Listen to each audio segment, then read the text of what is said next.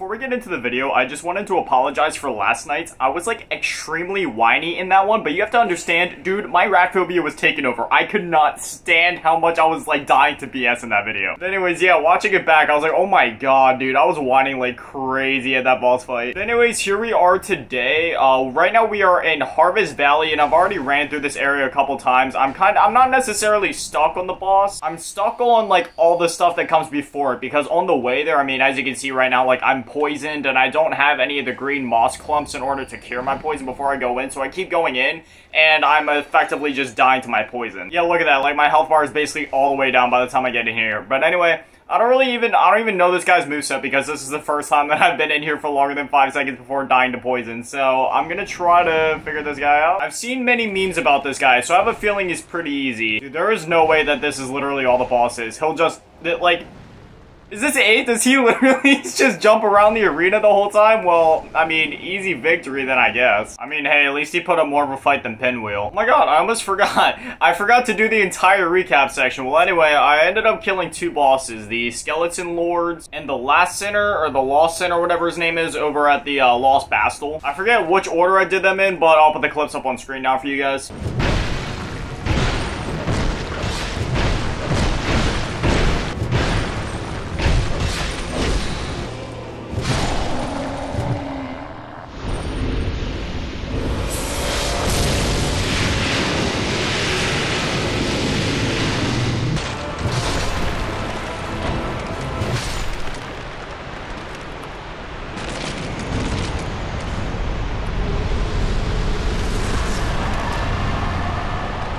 Also visited the gutter. I don't think I actually ended up capturing that footage, but man, I do uh, I do not want to go back there. I hope that that area is optional because it, it's literally like the Blighttown of this game.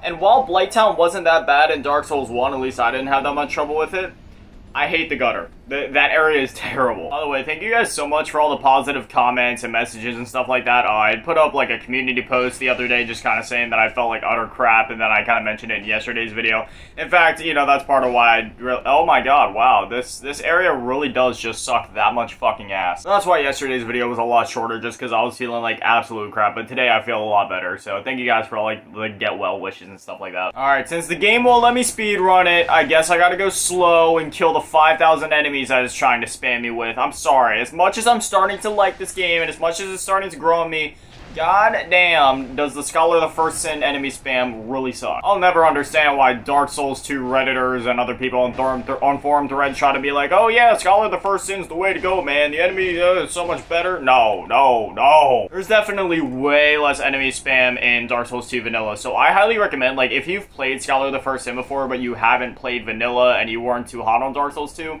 maybe give Vanilla a shot. If the enemy spam was your problem, then I can highly recommend Vanilla because it's definitely not as much of an issue there. That statement was just an opinion based off of my experiences with both games. If you feel differently, that is okay. I just ask that all of the 12-year-old virgin redditors watching this, please do not spam the comments and please don't be toxic. You don't need to explain why I'm wrong because I literally don't care. So, thank you. I mean, don't get me wrong, that version of the game is not perfect by any stretch, like not even close, but like I've been playing it through in my off time and it's it's a lot better in terms of that.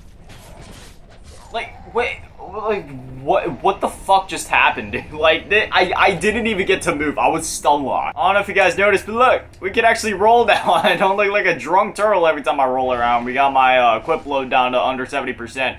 I had to get my vitality up like way past level 20 or something like that in order to be able to do that, and I won't be able to actually rock any, you know, good armor throughout this playthrough, but it is what it is. I always look up online what each boss soul does before I go ahead and like cash it in for souls or whatever, and the one that we got earlier from uh, killing the Lost Sinner the Last Sinner, apparently he gives you like a great sword or that soul gives you a great sword. Is that any good? Should I just stick to the one that I have or would it be worth actually investing in trying to get that one made? Oh no, I see a white mist up there. Dog, I... I should have listened to the comments earlier. I was saying something a couple videos ago about how this game really didn't have that many bosses, but oh my god, was I wrong. If there is a boss behind that white mist, that will make the third boss that I've come across in one hour. That is actually kind of crazy. Entering the mist. Please don't be a boss. Oh no, it's just a bonfire, okay. I'll take a bonfire, trust me. I know I've told some of you guys about it in the comments, like when I've been replying to you guys, but I don't know if I've actually mentioned it on video yet. Basically, I went through a couple days ago and looked at all of like the, because a lot of you guys leave me like really long, like article-sized freaking comments, and trust me, I'm not complaining. I love having those. The more tips, the better. But basically, I've been going through and I take like all the notes that I can off of those, and I put it into like the notes app on my phone. Dude, that thing is looking like a whole PowerPoint presentation right now. Dog, I can't wait to get out of this area. I'm sick of being poisoned and fucking... Oh my god. Dark Souls is the only game where a two-foot drop will fucking kill you. It's official. I hate this area and I hate it with a passion. I want to be out of here. Even though I have a massive rat phobia and I hated the Grave of Saints, I honestly think I liked that area more than whatever this piece of shit area is. As if they didn't learn their lesson from the first game. Like, hey, yeah, let's make a whole area that's based around freaking poison. Like, Blighttown. They're like, Hey, you know what? You know that one area that, like, nobody liked from the first game? Let's do that again. Oh, yes, I love being poisoned and then stabbed in the back by fucking mummies while swimming in, like, poison water up to my goddamn stomach, dude. I cannot with this game. I saw another white mist behind those mummies with the spears. Oh my god, no. You know, sometimes I love this game. Other times it just brings me so much fucking pain that I want to throw myself off the Empire State Building and land into a fucking cement truck. This game is the epitome of wanting to fucking make out with a cactus and masturbate with sandpaper. In other words, it brings me nothing but pain. Until I beat a really hard boss. Then I get the dopamine hit and I feel like it's all worth it. I am so sick of these goddamn ninja fucking lizard pieces of bird dick shit. I cannot stand these guys, dude. Getting so sick of this area, dog. I try to walk and I'm attacked by these fucking flying... Oh I already have the title, thumbnail, everything in my head. Normally, I make that stuff after the video is done, but I have it done already in my head. It's gonna be the worst, you know, worst being capital area in Dark Souls 2, and then the thumbnail is gonna be me with that, like, cringed up, like, disgusted face, and then it's just gonna be a picture of this shithole. Oh, yes, I got poisoned to death again. I went to drink my Estus flask and it wouldn't let me. Dude, I can- I'm you know, this game kind of makes me want to shoot myself in the face. I'm gonna go through, take it slow, kill all the goddamn enemies. Dog, I'm not even standing in the water and my poison meter is still going. Like, what is even happening right now? You would think in an area that... Wait, Monastery Charm cures poison and restore... I only have two of them. It's probably not a good idea. I probably should have saved it, but I mean, I don't feel like doing this run again, dude. Poison ahead, try front. Oh, dude, I'm using an effigy. I please tell me there's a summon. Try looking for a summon, but there wasn't nothing, and I mean, I'm already dying to poison. Is is there anything I can do to like not get poisoned when I'm in here, man? Oh my god, th this is.